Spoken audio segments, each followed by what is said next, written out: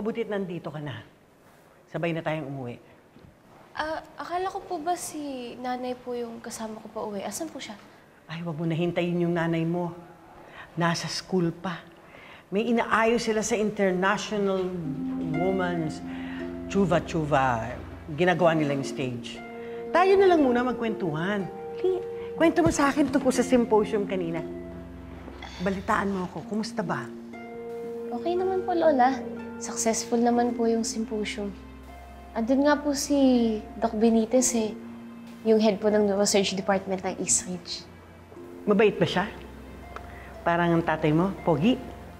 Nako, sobrang bait po. Pero, alam niyo po, may pagkakamali po ako today eh.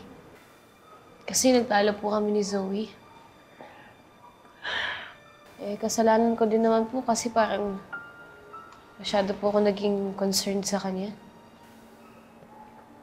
Concerned na paano? Parang masyado po kasi ako nang himasok sa kanya. Nag-aalala po kasi ako eh, parang may tinatago po siya tungkol kay Doc Benitez.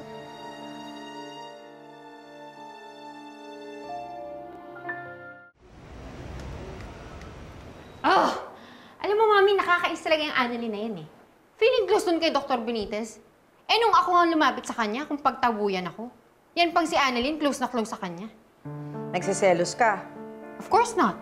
Alam mo, Zoe, wag mo nang pansinin si Dr. Benitez. Kailangan mawala ka ng amor sa kanya. He's not even worth your effort. Yes, Mommy. You know, I decided not to associate with him. I'm not gonna beg for his attention. Magsama sila nung Annalyn na yun. Pero, hindi niya naman siguro sasabihin na siya yung totoo kong tatay, di ba? Subukan lang ni Carlos gawin yon. Pagsisisihan niya. Sisirain ko yung pamilya na and I will make sure to ruin his career. Basta, Mommy, we have to be more careful. Especially around Annalyn. Pati na rin kay Lynette. At saka si Aling Susan. Bakit ano meron sa kanila? Eh, pakalat-kalat yan si Susan dito sa Apex. Hindi ko nga alam kung narinig yung pinag-uusapan namin ni Carlos kanina. Tapang-tapang. Pero nung tinanong ko naman, wala naman siya naisagot sa akin. Mommy, baka naman paranoid ka lang. Baka wala talaga siya narinig. Eh, wala naman nga akong narinig na matino. Praning lang talaga yung Moira na yun. Ginyera pa rin ako. At buti na lang nakapagtimpi ako. Kung hindi, baka hinimatay na uli siya. Eh, kamusta ka naman po? Wala, nasaktan ka po ba? Hindi ah. Buti nakarating si Regan. Inawat kami. Napigilan ako. Huwag na nga nating pag-usapan yung mga ugnayan ng mga doktor-doktor na yan. Huwag na natin sila pakialaman. Ako nga po, Lola, hindi na nga rin po talaga ako makikialam. Pero, hindi ko po talaga mapigilan isipin din na.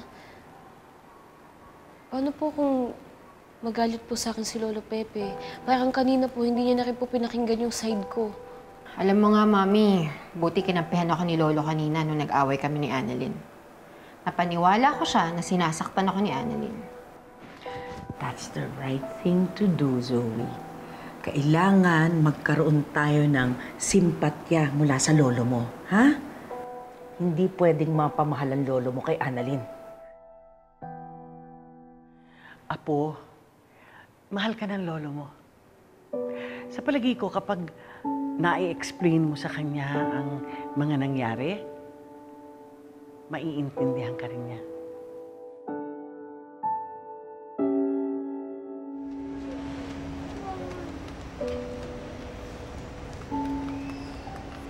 Eh, meron ba kayong ampaw dito, yung galing Cebu?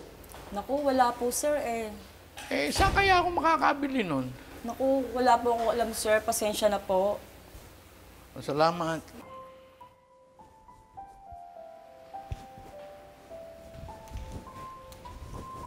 Lola, Oy! Kagagaling lang dito ng lolo mo. oh, ano pong ginawa dito ni Lolo Pepe? Ko sa kanya? Parang, parang may hinahanap na pagkain. Galing Cebu. Ano pong sabi niya? Walay ko sa kanya, hindi naman kami nag-uusap noon. Ang dating sa akin ng matandang yon, suplado. Pero nakakasiguro ako naghahanap siya ng pagkain galing Cebu. Parang ampaw.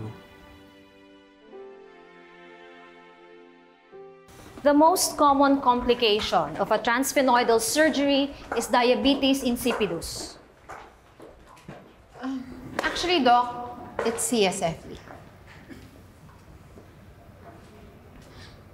CSFP.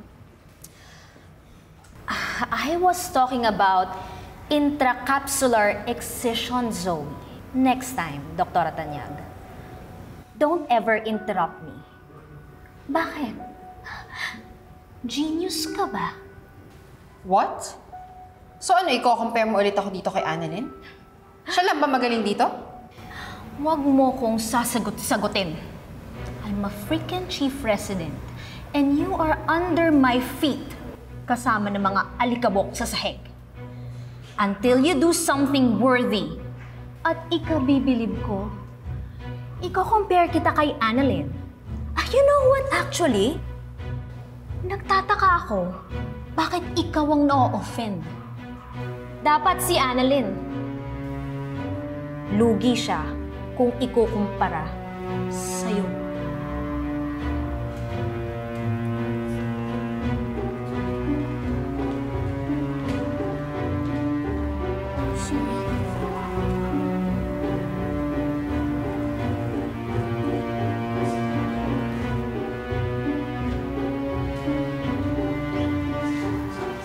Joey, Lo, nakita ko yung nangyari dito. Gusto mo sabunin ko yung bibig niya si Doktora Minora? Sobra siya magsalita, ha? hello, okay na po.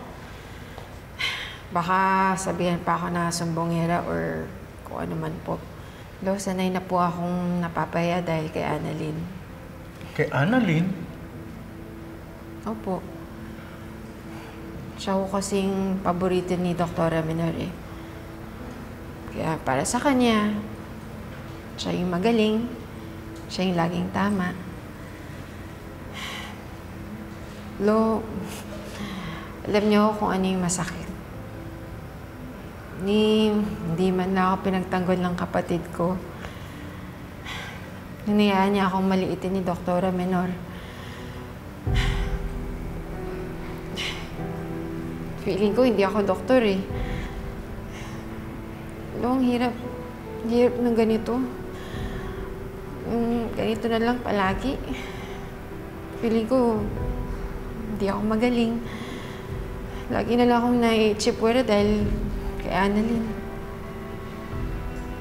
Tsaka lol. Alam niyo, ever since na nakoma si Dad, parang feeling ko wala na akong confidence sa sarili ko. Tapos, si Mami, lagi pang busy. Feeling ko, mag-isa na lang ako. Wala akong kakampi.